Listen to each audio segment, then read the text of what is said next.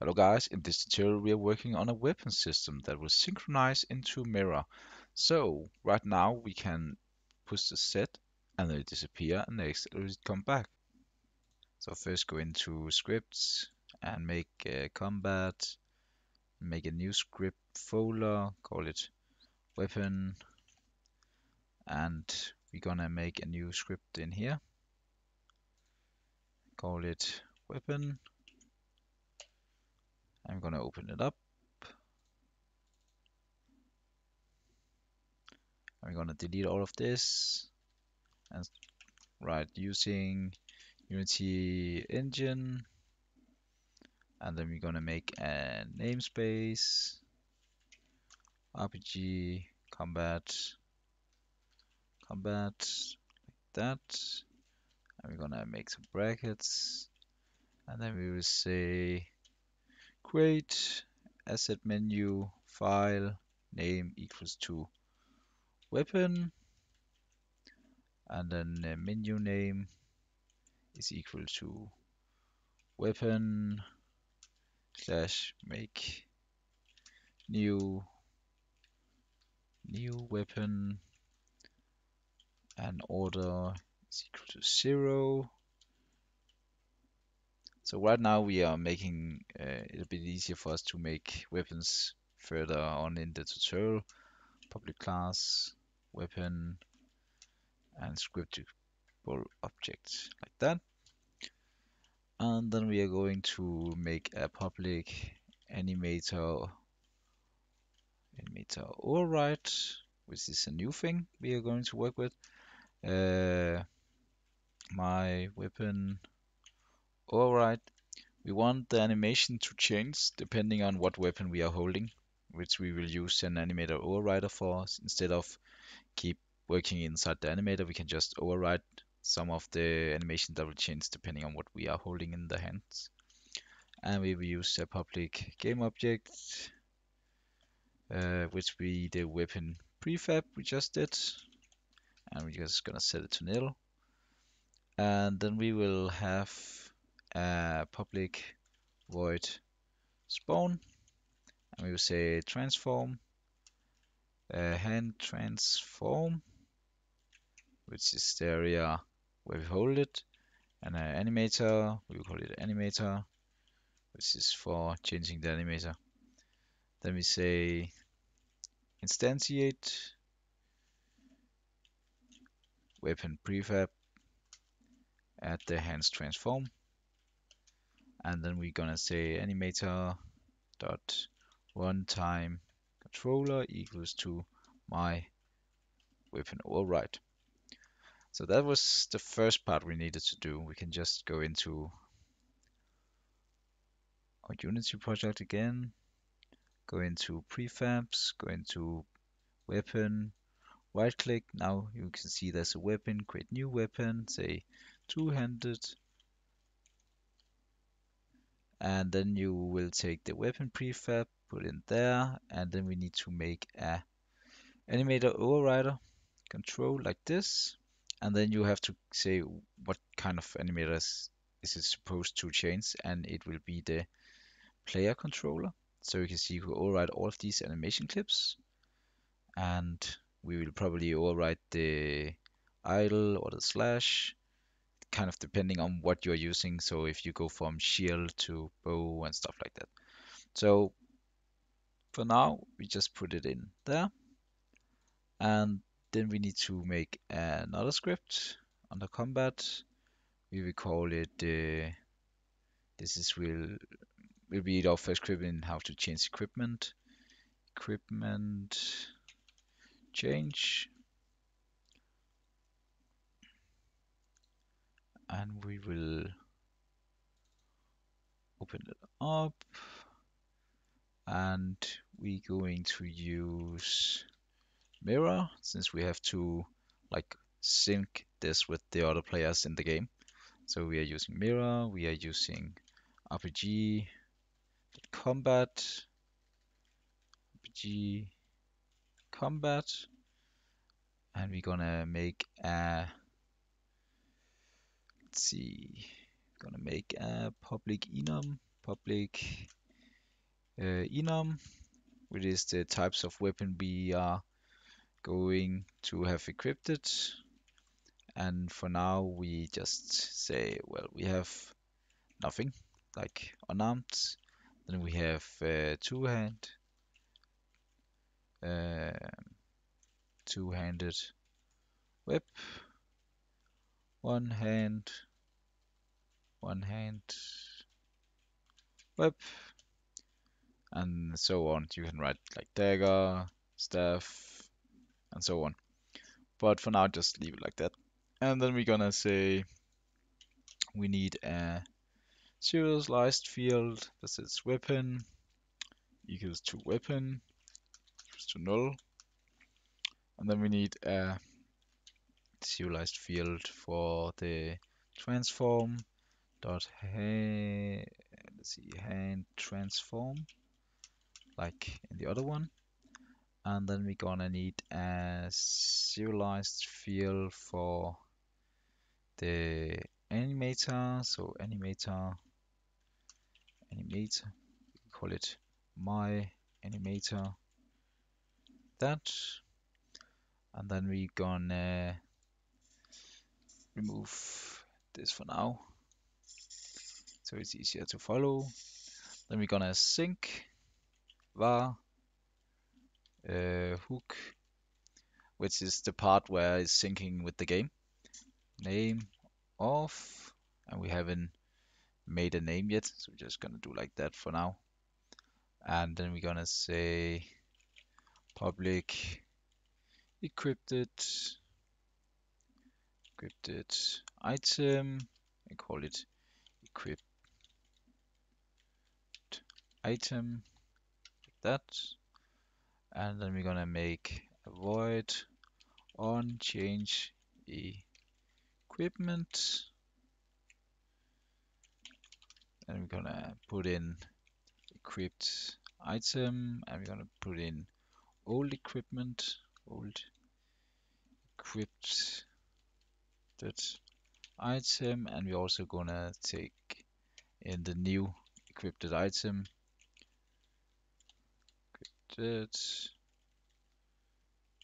item that we're gonna make some brackets and and we take this name and put it up here because this is the one we want to sync. We want to sync what item are we holding and what item are we going to have.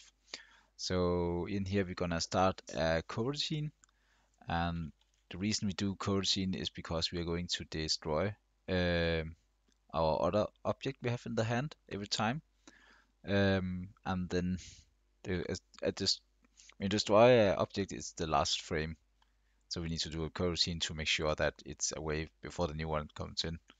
So change uh, change equipment and new equipped item that uh, let's see I feel like we need something here start coroutine no, it seems fine. Like that. And then we will make the coroutine. So IEnumerator that. Call it change equipment. And we will take in the equipped item. And we will also take the new equipped new to get this also like that and just saw that it changed the name up here it needs to be the same like this and then we're gonna say uh, I think we need something um yeah sorry we need a serialized field game object and call it sword joint we need to find the sword joint at our player. Could also be right hand or whatever you have. it Doesn't matter. Um, so while sword joint dot transform dot child count is greater than zero, so we already have something encrypted, we are going to destroy it. But transform, just get child zero dot game object. So the first one yield return like that. Then we're gonna make a switch. And then we're gonna make switch into a new item. We're gonna say case encrypted equip item dot call it two-handed saw web that then we're gonna uh, do the swap. Then we're gonna break. And let's see why it doesn't like me have to ah we need to write new encrypt item here. We'll put this back. So here at uh, the swap we need to make the new swap. So we will call it void um, make it private. Void uh, spawn spawn weapon. And what will we do there? We say if weapon equals to nothing then just return. You're not going to do anything if you don't have any weapon.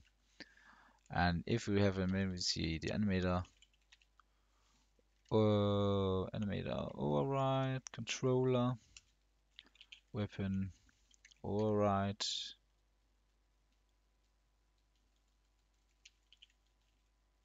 Uh, we haven't made that. We will call it weapon.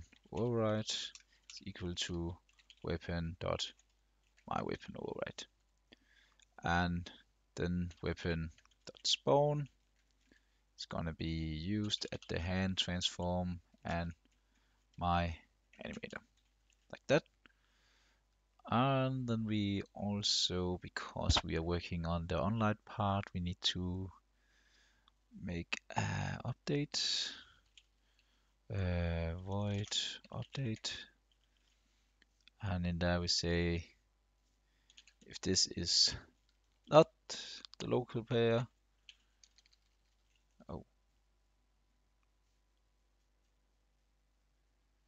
need to see this need to be network network behavior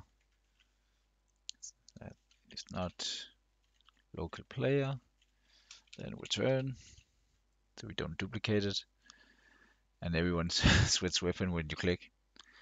Um, see what can we more do. Um, we need to do a bit more.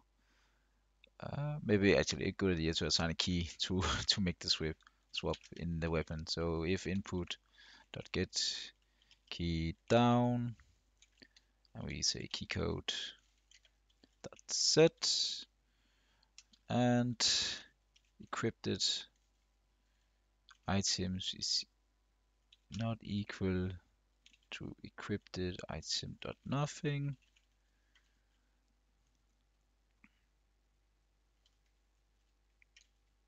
uh, see here This is the wrong one. Not equal to a encrypted item. Nothing. Um, hmm. Then we gonna make a command, I think, like this, and say void change encrypted item encrypted item and selected. Item. And inside that command, I'm a bit sorry that I cannot like explain this part, but I had to look up the how to do it in the networking part, so it keeps updating. And this was the only thing I found. Uh, I'm not sure what all of it does, but it, I made it work. So I was like, okay, I, I will use that. Um, so encrypted item, nothing. That, and it pick the wrong one again. That, and if, oh, I'm not gonna write all that again. Just gonna copy paste it. So we, if click set, we are going to equip nothing if we're not already there. And if we click, use the X, we will say, do we have the two-handed whip? And if we don't have that, then give us this two-handed whip. I think that will be all the coding for now. I think in this next video we will do the overriding animations. Um, but, but for now we do it like this. Then we let it compile.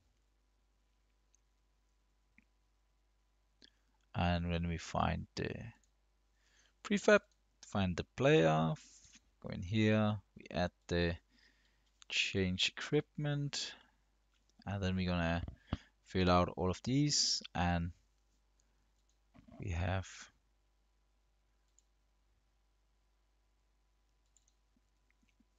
so will be the sword joint and also gonna take the sword joint here and the animator will be Maria and right now it's nothing. So it should work now. Let's see I found out that we forgot uh, one little sign there, which kind of broke the entire game for us. So now it should work when we hit the play and hosts and we can see our weapon, we can take it away. So let's test if we can use it in our multiplayer setting. This is always a bit interesting.